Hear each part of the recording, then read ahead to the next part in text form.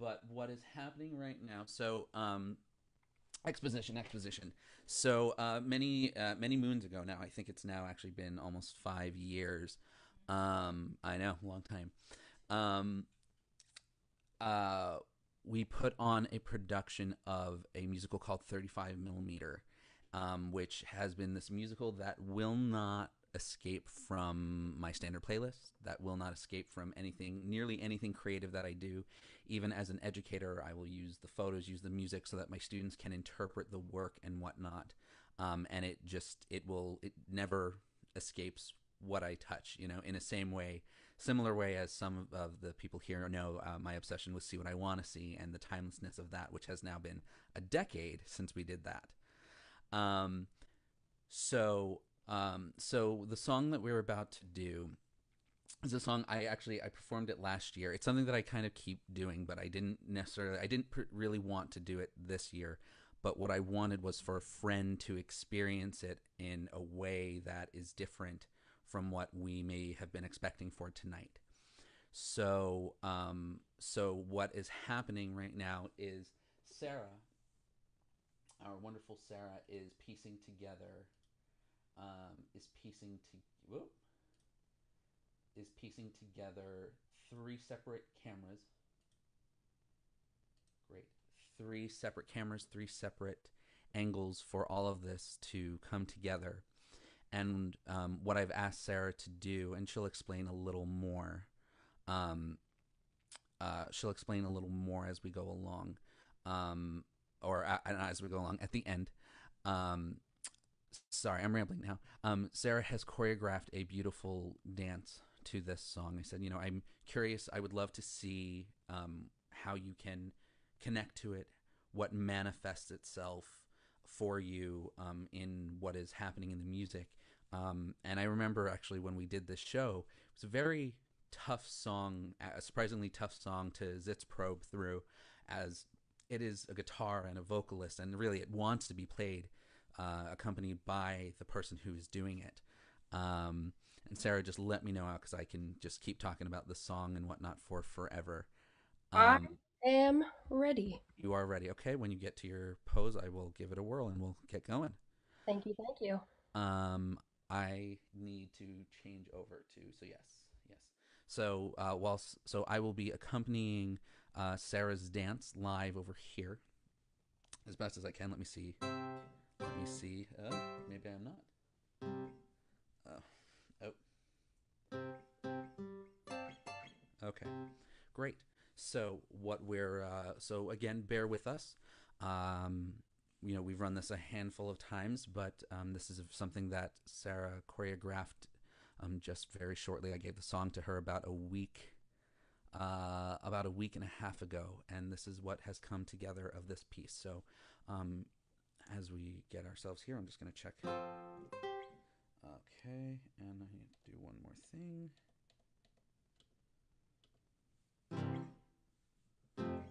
Okay, here we go. Make sure, yep, we're viewing it. Okay. I saw a devil before me, and he took me by the face. I walked inside a shadow and kept a pace. I filled my life with sin enough for the world all around. Drowned till by an angel seraph I was found.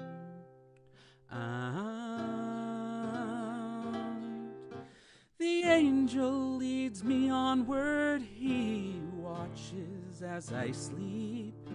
The angel thinks I've got some kind of soul to keep. I feel him rest his seraph head warm against my chest. Don't know why it should be, but by the angel I am blessed.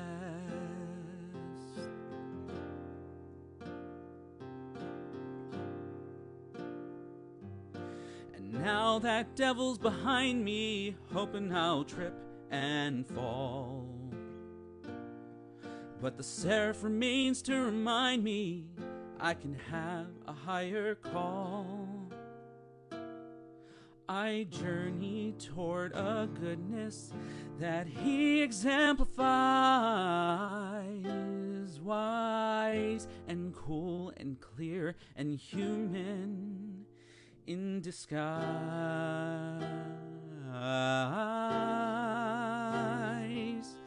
The angel leads me onward, he watches as I sleep. The angel thinks I've got some kind of soul to keep. I feel him rest his seraph head warm against my chest. Don't know why it should be, but by the angel I am blessed.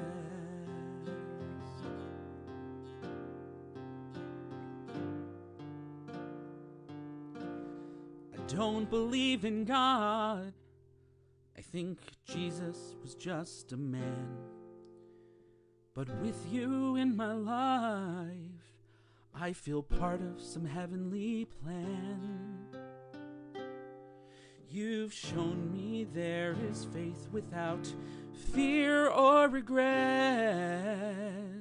You are a love as close to heaven as I'll get. Mm.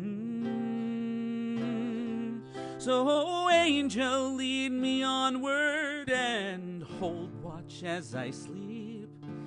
Don't know why you think I've got a soul to keep. And when you lay your hallowed head warm against my chest, like divine highest angel mine, somehow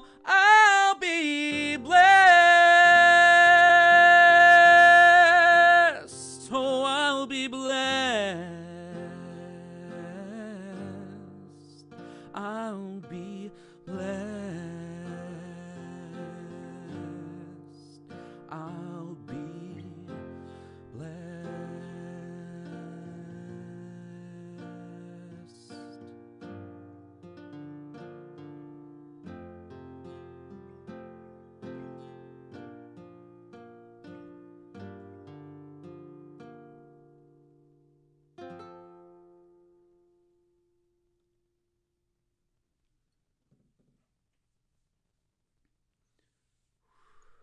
Oh my god. That was beautiful. Yeah. Bravo. That was gorgeous. Gorgeous. Bravo, Danny. Bravo, Sarah. Sarah, Well, Sarah runs around to turn off all moving on, her again- Turning off all the I'll cameras. let Sa- I'll that was Sarah talk absolutely Um, fantastic. but I just want to thank everybody thus far as we start heading towards um, our next wave, our last wave. We're Going to do insert a really quick plug and just an update that thus far we have raised over four hundred and thirty-five dollars. Oh my gosh, that's Oh fantastic. Thank you, everyone.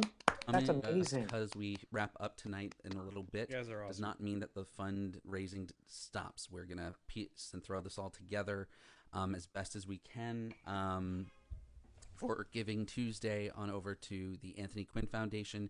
Check out our video for the description of where to send the money for Venmo, so we can lump it together and throw it throw it at the uh, Anthony Quinn Foundation. Danny. Um, so, uh, without further ado on this one, a little chat over uh, to Sarah, our choreographer and dancer. Hello, everyone.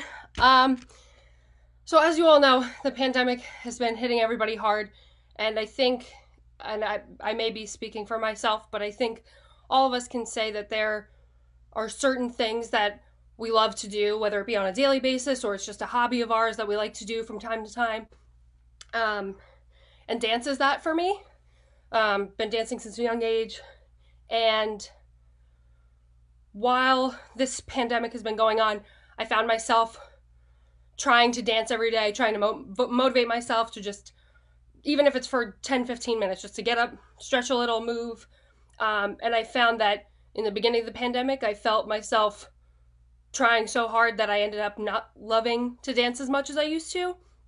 Um, been taking online dance classes, trying to keep the thing going. And also, this carpet is very squishy, so it's very hard to dance on in general. I always feel like I'm to fall over. Um, so, as the pandemic went on, or as it's going on still, um, I felt that ever since I started choreographing for my high schoolers last year in uh, the musical All Shook Up, I felt like I didn't really have any dance that I was working on that was particularly meaningful to me or anything that I felt like I was pouring heart and soul into. And when Danny approached us all about taking part of this, he said, "Hey, you know, I I have the song that I think you should give a listen to. Maybe you can choreograph something to it. You know, no pressure, just let me know." So I said, "All right, I'll give it a listen later and let you know." And within the first 30 seconds, I was like the between the lyrics, the the whole feel of the song, everything, I was like, I'm in. Had this whole thing choreographed in like two or three days. I was only given this about a week and a half ago in general. Um, so everything just kind of flowed, and I started out with the chorus and coming up with gesture work, which you may or may not have noticed was kind of like a theme throughout the whole thing with little things changing here and there. But it was just so nice to finally feel like I was doing something that personally and just I like just all encompassing, just connected to. Um, and I think sometimes it's hard for us to find that, especially when we are in such dark times. But I think that if you get a little push like I did from Danny, I think we can all find that spark of the thing that we love and to just keep doing it and realize that it's it's not the end of the road for that hobby or that love or that thing that just makes you want to get up in the morning. So thank you for letting me choreograph this and for singing along to it and I love you and I thank you for this. So Beautiful, Sarah. Beautiful.